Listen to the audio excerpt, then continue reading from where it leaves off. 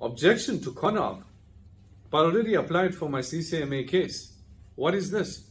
What is an objection to ConArb and what should you do if you get one?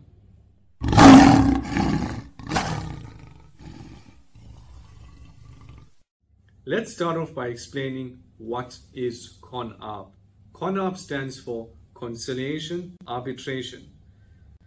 There are two separate processes in terms of the CCMA rules. Conciliation is where the employer and the employee will try to mediate and settle the case. There's not going to be any evidence led and the CCMA will actually try and help the parties to come to what is called an out of court settlement. If conciliation fails, the case then goes to arbitration.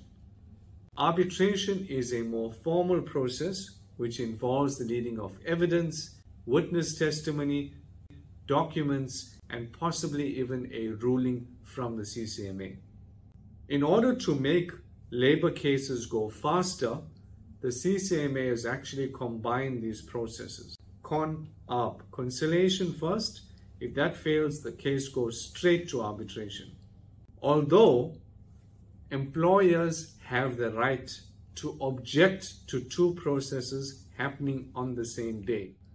In other words, what the employer is doing by putting in objection is to separate the processes. On that date that you get from the CCMA, you will actually only have the conciliation.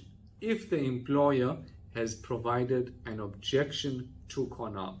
In other words, your arbitration will then take place on a separate day provided by the CCMA. Important to bear in mind that if the matter is only set down for conciliation, the employer has no legal obligation as it stands to attend conciliation only. However, if the case is set down for arbitration, then the employer must attend. If they fail to attend an arbitration, you can get a ruling in your favor by default. Another important tip to bear in mind is during the mediation or conciliation stage, try and keep your settlement figures fair and reasonable. In other words, don't go in expecting to get the maximum of 12 months. You're unlikely to do that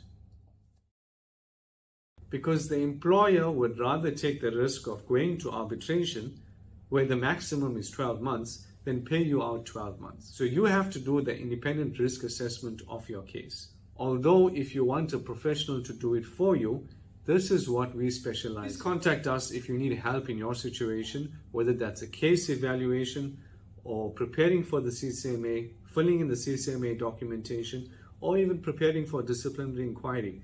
This is what we specialize in. You can do so by clicking the link below and I look forward to speaking to you soon.